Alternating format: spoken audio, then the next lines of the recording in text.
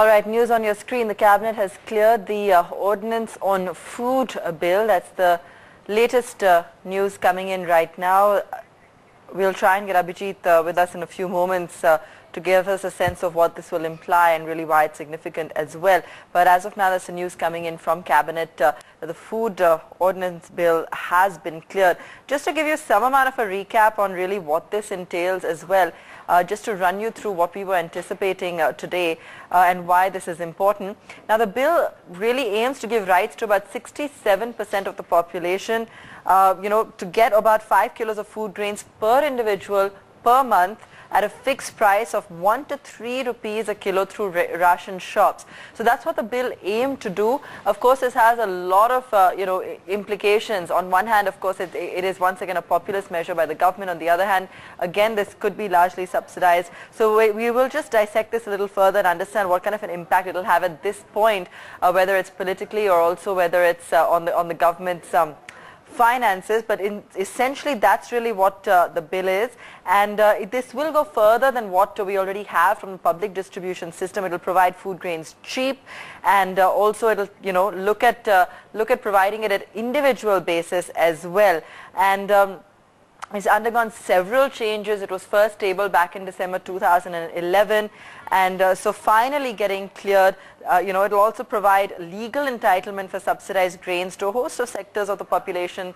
Um, that, that's what was, of course, uh, uh, suggested. We'll just speak to Abhijit on what exactly has been cleared. But a host of uh, sections of the population like pregnant women, children, uh, the poorest among poor, for example, who would get it at that price of one rupee. Uh, so those were the, some of the uh, proposals uh, that was that were that were suggested. But of course, look at the cost of the bill. It would require an annual food subsidy of 131,000 crores, which includes about 8,000 crores for incidental expenditure. You'd need to set up a food commission on a national level, grievance redressal mechanisms, and so forth. And the government had put some of this aside in the 2013-2014 union budget. Um, in fact, uh, but, uh, you know, we have to wait and see uh, whether or not now uh, the amount of expenditure that's required exceeds what was budgeted for as well. Abhijit, the food ordinance bill being passed through, has it been passed through in its, uh, you know, suggested form? Have there been any changes? And just take us through the significance of this as well. Well, uh, what's happened is uh, this, this of course is, uh, uh, was a cabinet briefing to, a cabinet meeting really to discuss first of all whether the government should go in through the ordinance route or whether they should actually convene a special session of parliament. Remember, there was a lot of back and forth as far as uh, uh, you know the route to be taken was concerned. Uh, this particular meeting was not really to decide on the contours of the food security bill. That's pretty much already decided.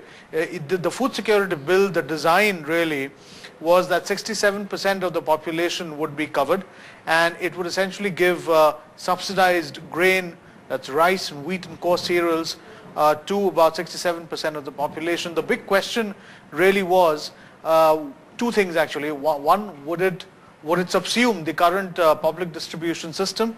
Secondly, uh, what would be the financial outgo. Now, as far as the financial outgo is concerned, in this fiscal in FY14, there would be uh, limited uh, outgo for the simple reason that the implementation of this, by the time this actually gets implemented, and the states also have to be on board to implement this, uh, the net impact uh, would, would actually be slightly limited. But the figures are varied. One estimate is that we still would have probably have to shell out, the government would still have to shell out about 20 to 25,000 crores additional on account of the food subsidy bill. Now remember, in the budget, in the current budget, there is for the food for for the food bill per se, you've got about 90,000 crores, which is the budgeted figure. Out of that, 10,000 has been allocated for the food security bill. Now, if this the ordinance now gets promulgated, which it will be, uh, the estimates from the finance ministry suggest that we are just talking about 10,000 crores additional. Now that is uh, possibly one aspect which has to be debated. As far as the design is concerned, there are some issues which really uh, are still bothersome and one is not sure whether the states are on board on that because for example at the state level there has to be uh, uh, you know what do you do with the PDS mechanism uh, one gets the feeling one gets the sense that the PDS mechanism does stay and this the food security uh, arrangement will be over and above the, the existing PDS uh, system. And the other important point really is that uh, you know what happens to the the offtake, for example. Now, as of now, what happens is that you know the government actually bears subsidy for FCI's offtake. As of now, as far as the buffer requirements are concerned for both wheat and rice, they're much in excess. Now, in that event, the bigger question mark is what happens to exports because the moment the, the ordinance is promulgated, uh, it of course has to be ratified within six months by both houses of parliament and assuming that it would be, and I'm not getting into the politics of it, the question then would be that will uh, the government actually have uh, enough and more to go for food security uh, for, for this fiscal? One gets the sense that at, at least as far as this fiscal is concerned, uh, there is. The, the other question, of course, is the pricing of it, which we will, of course, uh, come to later. But let's let's go across to Mr. Madan Sabnavis, um, economist with CARE Ratings. So, Mr. Sabnavis, thanks very much for joining us. The uh, ordinance on food security is has been cleared. First of all, I know you don't have a political hat, but I have to ask you this. Are you surprised by the timing of this ordinance? Because, you know, the parliament session, or at least the monsoon session is pretty close, and one would have expected the government to actually just go through the legislative route in the first place. No, I think the way of they have decided to go through the ordinance route. So obviously there are certain uh, political reasons for it. But I think when we are looking at the food security bill, let's not really talk about the politics of it, because I firmly believe that we do require food security bill. It's the paramount responsibility of the government to address the concerns of the poor people. And therefore, when we're talking of a food security bill, which according to numbers which you have been talking of, are meaning an excess of maybe another 25, 30,000 crores than what the food security, than what the subsidy which has been provided for, to my mind, it's a fairly reasonable uh, number. Because if we go to the World Bank estimates of what they define as poverty, when they use the $2 criteria, we would be talking of around 700 million people who fall under the poverty line defined by the $2 per day criteria. So I think that in case we're talking of a food security bill, which is talking of covering around 800 million, what you had mentioned, it's probably a little higher than what we are talking what the World Bank would be talking of. But I think it's a necessity, and I think this is something which we should not really be grudging the poor people. What we should actually be looking at is, are we going to target the right set of people, and whether we're going to build the kind of uh, buffers, both in terms of the physical availability of food grains as well as the uh, fiscal concerns which are there. I think that's where the focus of attention should be on. Uh, so, Madan, uh, what is the kind of pressure this would put on the fiscal situation? It would actually depend upon uh, what would be the additional uh, uh, pressure on uh, in terms of the food subsidy. So let's try and put it this way. See, today if we're looking at the PDS system, which provides uh, uh, rice and wheat on the basis of your ration card, there are around 58 million tons which is being disbursed under the PDS. Now, based on these informal estimates, when people are talking of food security bill, they're saying it could be something like 63 to 65 million tons. So the problem really is not is in terms of the physical availability of the commodity because we have surplus stock which are lying with the Food Corporation of India, which could always be used for uh, addressing this issue. But the problem on the food subsidy burden is that presently the issue price of rice and wheat is in the region of say around 6 to 9 rupees depending upon uh, uh, which quality we are talking of. Now this particular rice and wheat is going to come at 1 rupee. So I think that's where the basic uh, problem for the government is going to be that you may be providing this 1 rupee benefit to people who may actually, who are currently paying 6 to 7 rupees. So I think that's something which I think the government should try and address. Otherwise, the food subsidy bill will definitely uh, be be exceeded in the in the coming years. Probably for the first year we may not have this problem, but once it becomes all uh, encompassing across the, the entire population, even in case we cover 75% of this 800 million people we're talking of, there would be a additional pressure on account of the pricing uh, differential. Well, uh, uh, at this point, let's uh, let's welcome uh, Dr. Abhijit Sen, member Planning Commission. Uh, Dr. Sen, first up, uh, you know the uh, the food the ordinance on food security has uh, been cleared. Are you a little surprised? were you expecting the government to go through the legislative route in the first place? I certainly would have preferred it, but I suppose there are other considerations which cabinet must have concerned, considered I think certainly uh, the legislative route will have to be done. I mean, all, all that the ordinance allows you to do is to wait for six weeks or so. Uh, so I don't know. There must, there must be other considerations.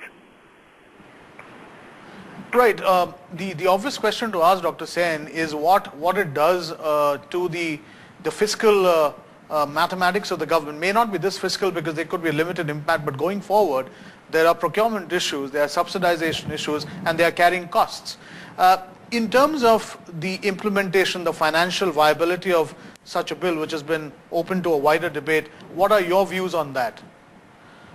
Well, see, I don't think the procurement issue is much of an issue because the total grain requirement is actually less than what we've been procuring on an average in the last three years. Uh, so procurement isn't an issue. As far as the financial issues are concerned, in the short run, it's not going to, I think, cost anything as much as a lot of people are scared about. The real cost would be in terms of uh,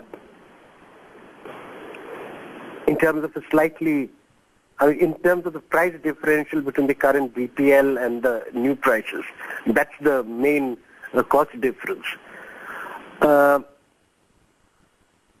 and uh, to the extent that actually more grain moves through the system, in the short run again that would be a saving because the carrying costs.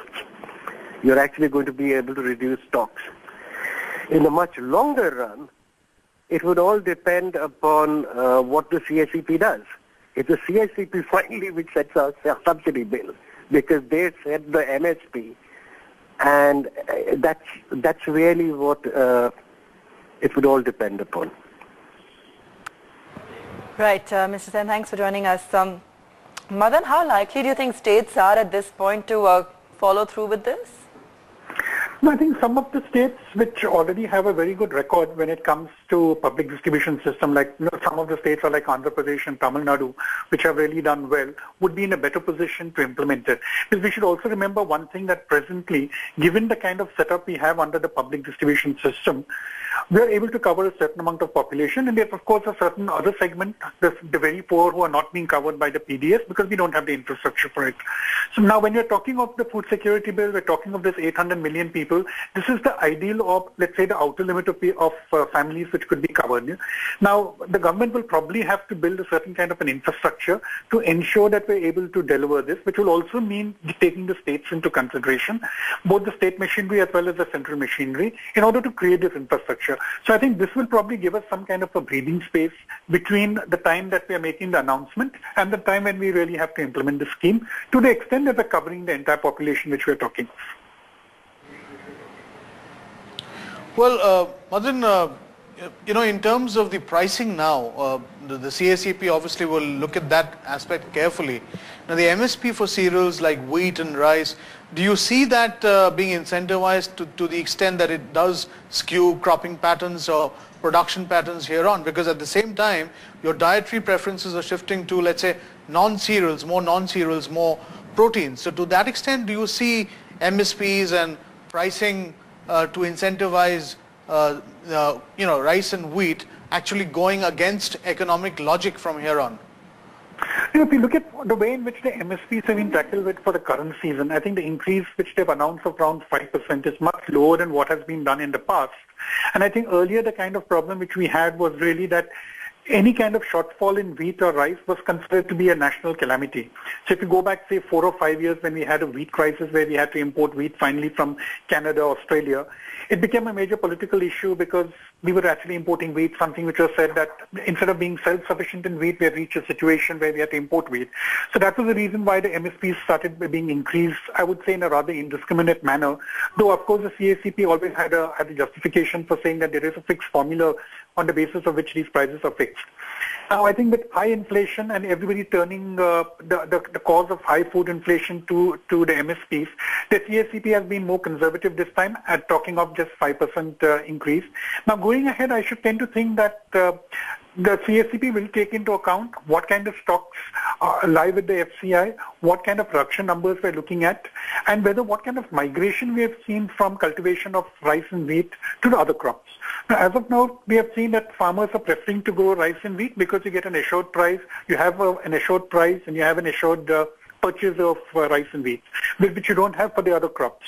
So I think this kind of a balance is what the CACP will have to look after. And unfortunately, I feel that once we are committed to supplying rice and wheat under the food security, we will continue to focus on rice and wheat, which may not be very good in terms of uh, what it does for the soil and for the overall cropping pattern. Because rice and wheat are typically the crops which consume more moisture, more water, which has been affecting the water levels also in the, in, in, the, in the northern states.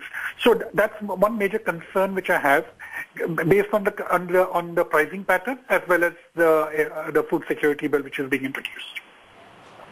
Madan, do you see this replacing the public distribution system?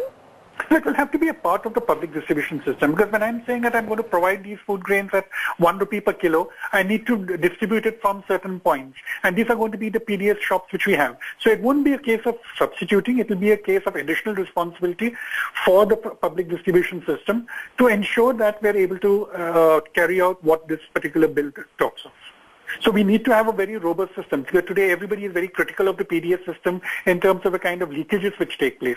Now while I think uh, at some point of time in, in the parliament, one of the ministers had actually said that the leakages have come down from something like 40 to 50% to 20%. Now we don't know what the truth is, but definitely there are certain kind of leakages which have to be plugged and the starting point will be in terms of identification of the poor.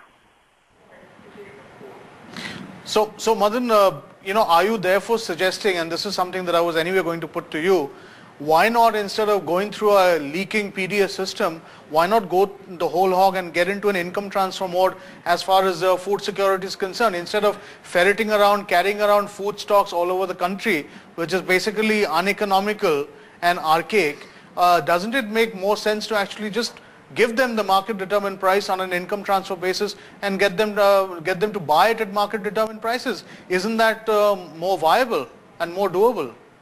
It definitely appears to be a very efficient system, something which could be used, but we need to know that the prices of rice and wheat, they vary substantially across the country. So there will be a whole question of saying that what is the price of rice, for example, in the north and the price in the south, there's a big variation and the variation could be as much as around 10 rupees per kilo.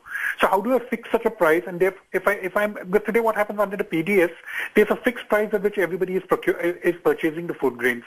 And, and, the, and the purchase cost is being borne by the government. Now the moment I say that I'm going to give you a cash, now if the price of say uh, rice costs say 15 rupees in, in, in the south and say 25 rupees in the north, now there will be a case of political lobbying which will automatically come up where the states are also going to lobby for saying that you will have to keep adjusting my price uh, uh, uh, on the basis of whatever these benchmarks are.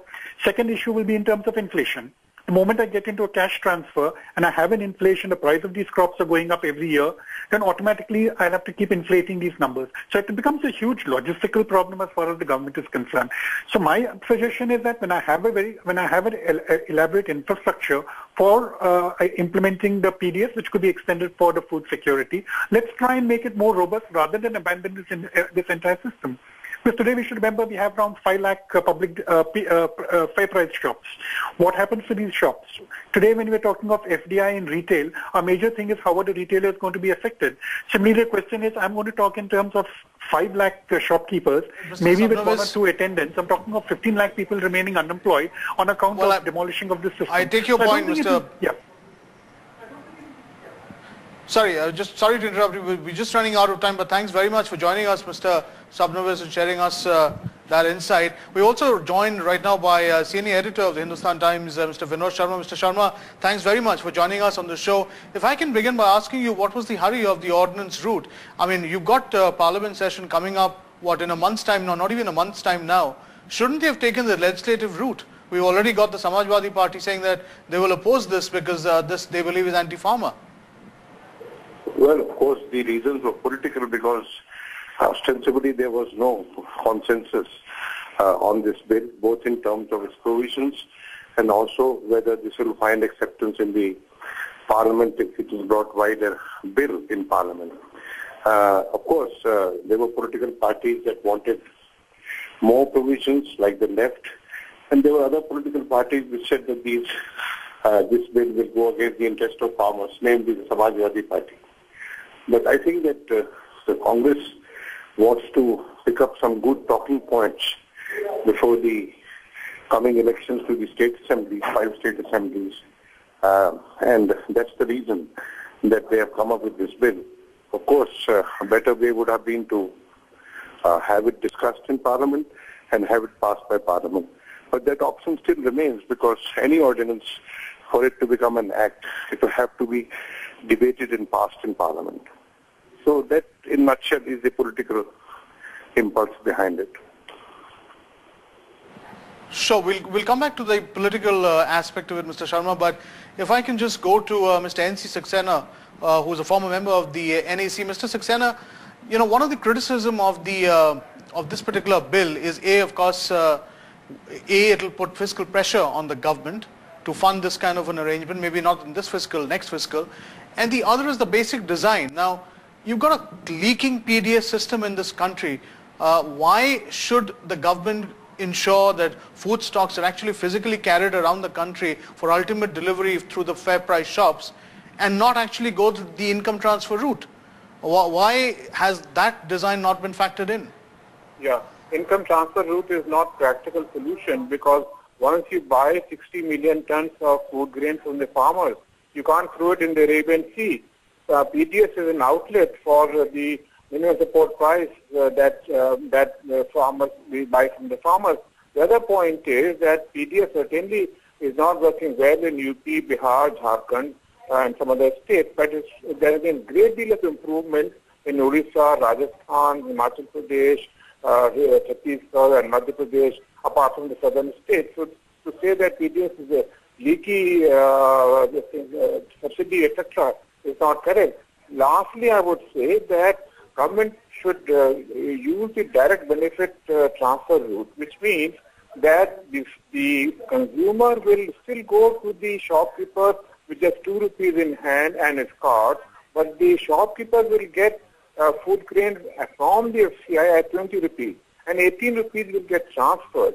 When this happens, the shopkeeper will not be able to sell it in the open market. The shopkeeper will run after the consumer that please come and collect uh, your uh, uh, grain, your entitlement, and this will certainly improve the relationship between the shopkeeper and the poor people. So therefore, direct benefit transfer has a great deal of potential, but it requires, uh, you know, Aadhaar, it requires uh, financial inclusion, which will take time. So there is a great deal of uh, potential for improvement.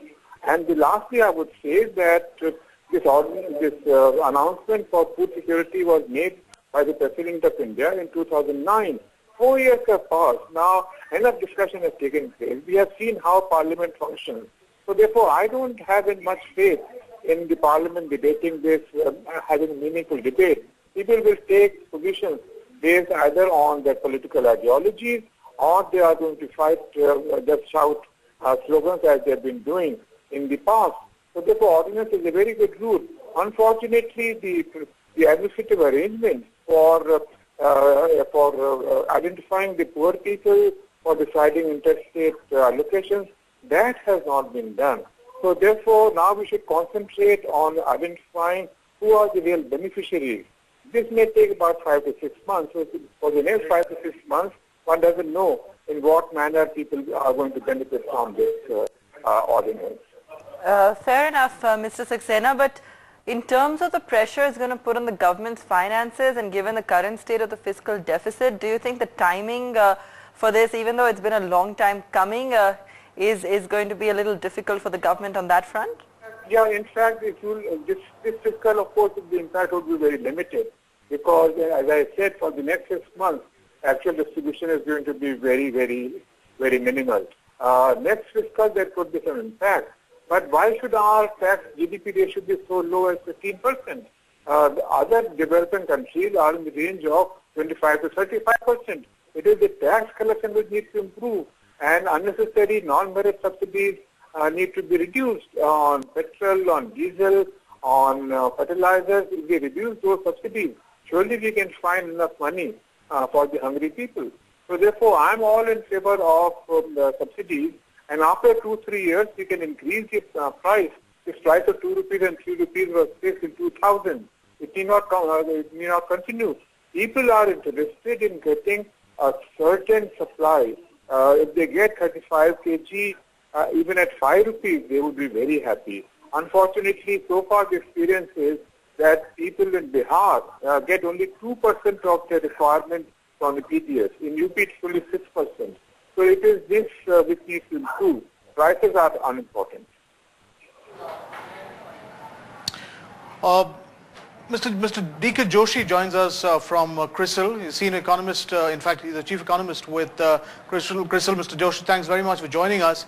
Uh, one of the first questions that I really want to pose to you is what does this do to cropping patterns? Because from here on, there's going to be an incentive for uh, cereals, for your wheat, for rice, because obviously you, physical availability is going to be an issue because though right now you've got bountiful stocks, that may or may not always last. So in terms of pricing patterns, in terms of crop patterns, do you see a distortion coming uh, in the years ahead?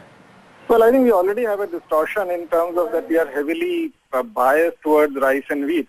And I think that that's going to continue. I think also if the only way to deal with that is to, to focus on raising productivity. I mean, our productivity levels are very low. If you compare it to China, they're quite low. So there's a lot of scope for raising uh, the, the yields of crops. I think that's the only way out going ahead because you can't expand the the uh, the land area and farms are anyway getting uh, fragmented. So I think focus has to be on providing uh, irrigation uh, via conserving water. It has to be on improving the seeds. It, it has to be on uh, better extension services. I think that's the only way you can deal with this uh, situation. It's not an insurmountable problem, but I think it will require uh, rekindling of agriculture. What does this do, uh, Dr. Joshi, what does this do to our export policy, especially of uh, food grains? Because as of now, remember, the government was toying with the idea of allowing back uh, wheat exports and stuff. But from here on, because there would be pressure on to ensure physical availability of stocks, uh, to that extent, do you see, uh, you know, a further clampdown as far as exports are concerned, at least on the grains, on the cereal side? Well, I think as, uh, right now, I think we have surplus. I think the CACP has already estimated that you could uh, uh, you could export worth 10 billion dollars of uh, wheat, even after taking care of food security and buffer stock norms.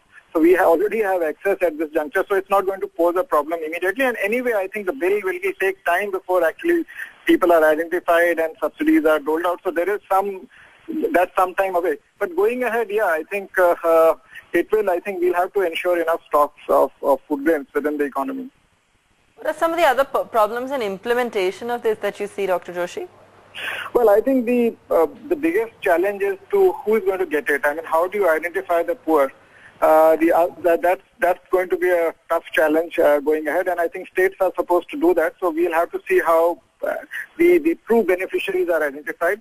And then I think the second would be, I think there's enough, there's a lot of talk of using the Aadhaar platform or direct benefit transfer. So how, what are the modalities? I think there's no clarity on that. And actually, even if you uh, eventually uh, plan to use Aadhaar uh, platform, I think you have to speed up the the the the, uh, the process in the in the backward areas. I mean, the people who need the most are uh, are not, not being covered at that fast rate. I mean, as far as Aadhaar is concerned. So I think uh, two challenges. One, I think, how do you use leverage on technology, which you are already invested enough to to make this uh, a success. And second, I think, is, is, is which has always been a perpetual problem in India, is how do you ensure that uh, the, the the benefits reach the poor, which is linked to identification of uh, proper identification of poor.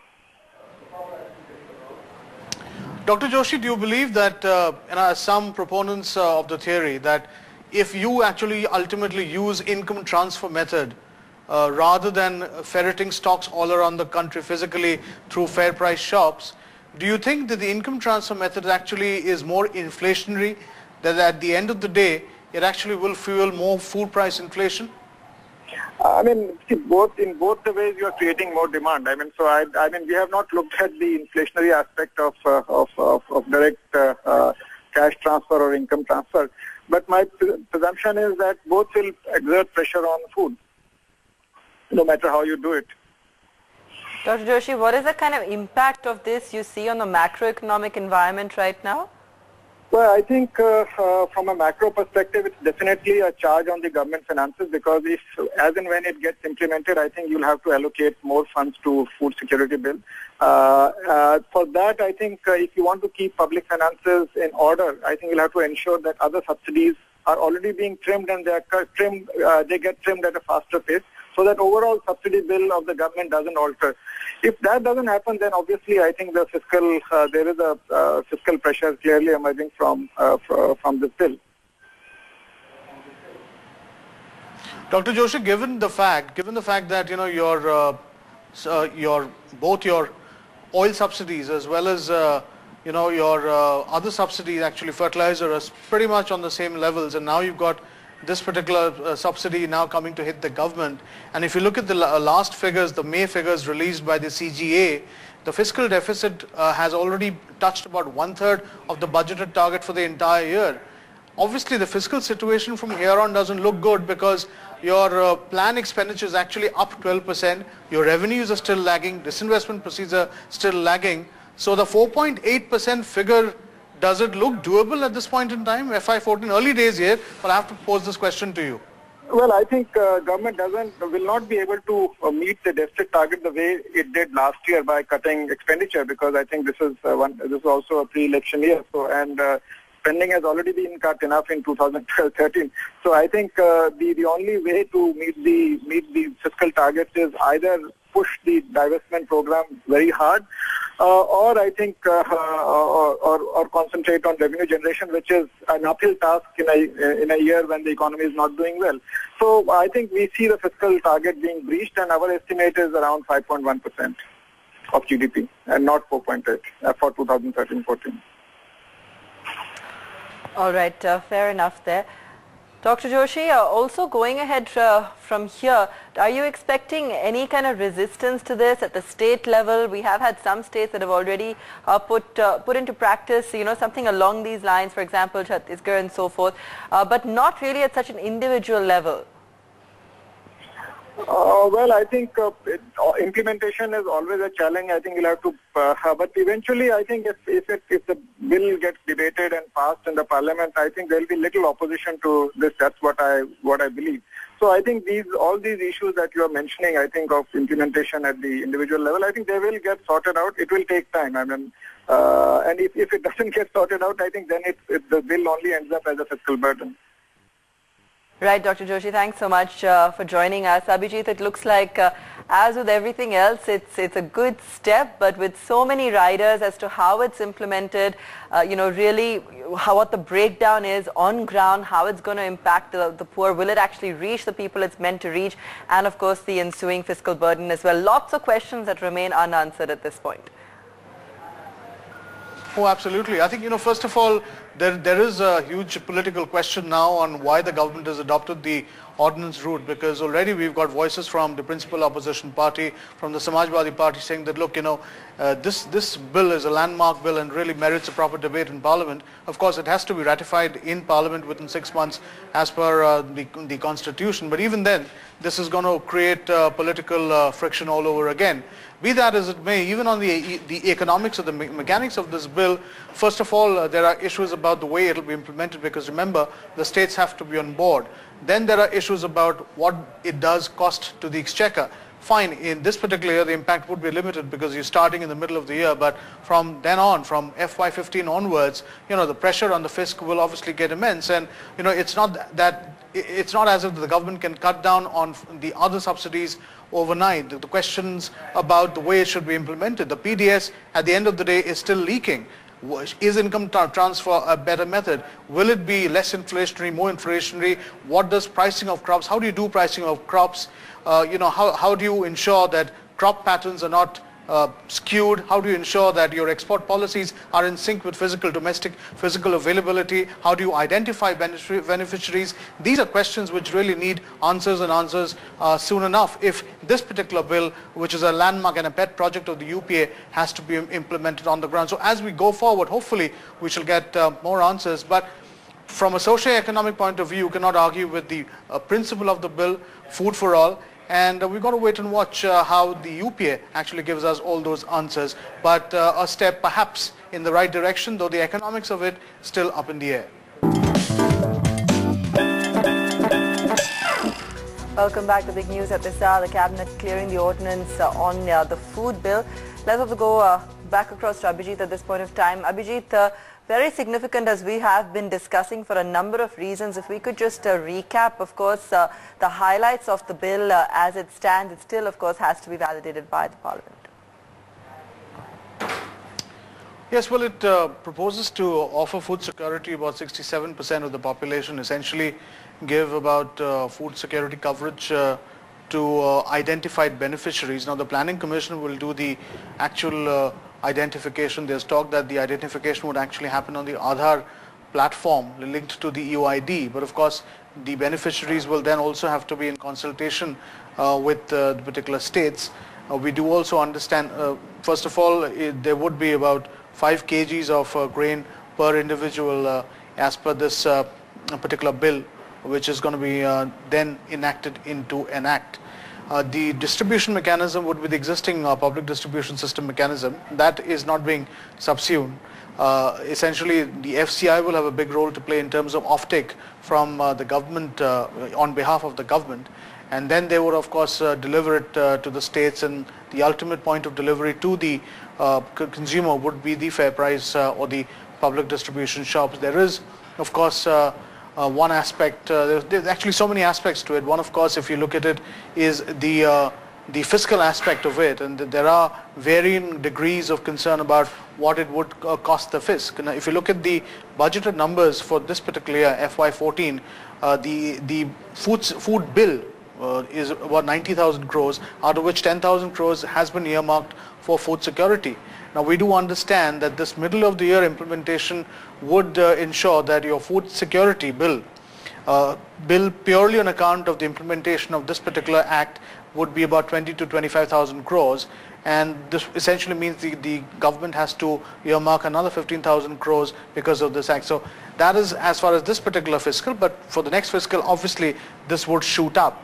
The other question uh, which comes to everybody's mind is that how would you procure? As of now, if you look at your wheat uh, availability position, rice availability position, actually it's pretty bountiful, much beyond even buffer norms, to the extent that there is, there is talk about exporting some of this. But going forward, year after year, you have to ensure that you find enough stocks to allow, to ensure food security, which will be mandated into a law. And for that, you, your pricing has to be such that you incentivize these crops.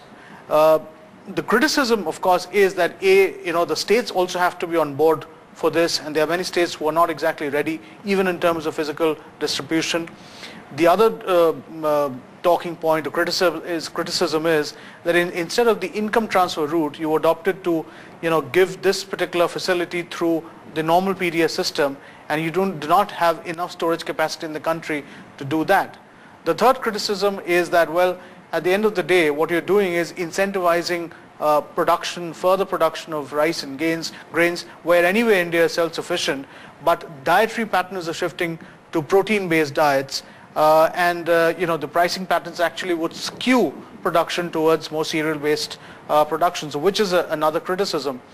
But at the end of the day, one cannot argue with the broad philosophy of this in, in a country like ours, with no income nets, no social security nets. Perhaps this is a step in the right direction. Uh, of course, on a political platform, politically speaking, this is a pet project of Mrs. Sonia Gandhi, who piloted uh, this project and uh, almost uh, coerced, or shall I say persuaded the government to go with it because there were reservations even among the finance ministry and the PMO about what it would cost uh, to the exchequer. So at the end of the day, it's something that uh, tries to marry good politics with good economics, but as I said, the economics of it will only evolve as the government goes ahead and tries to implement this on the ground. All right, here are some uh, reactions we've got to uh, post the news coming in this evening as well. Listen into these. The procurement issue is much of an issue because the total grain requirement is actually less than what we've been procuring on an average in the last three years. So procurement isn't an issue. As far as the financial issues are concerned, in the short run, it's not going to, I think, cost anything as much as a lot of people are scared about. The real cost would be in terms of in terms of a slightly I mean, in terms of the price differential between the current BPL and the new prices. PDS is an outlet for the minimum support price uh, that uh, that uh, farmers we buy from the farmers. The other point is that PDS certainly is not working well in UP, Bihar, Jharkhand, and some other states, but there has been great deal of improvement in Orissa, Rajasthan, Himachal Pradesh, uh, Chhattisgarh, and Madhya Pradesh, apart from the southern states. So to say that PDS is a leaky uh, uh, subsidy, etc., is not correct. Lastly, I would say that government should uh, use the direct benefit uh, transfer route. I think that in case we're talking of a food security bill, which is talking of covering around 800 million, what you mentioned, it's probably a little higher than what we are talk what the World Bank would be talking of. But I think it's a necessity, and I think this is something which we should not really be grudging the poor people. What we should actually be looking at is, are we going to target the right set of people, and whether we're going to build the kind of uh, buffers, both in terms of the physical availability of food grains as well as the uh, fiscal concerns which are there. I think that's where the focus of attention should be on. All right, that's where we leave it at this hour, but that's the big news for you. Uh, the cabinet uh, clearing the ordinance on food security.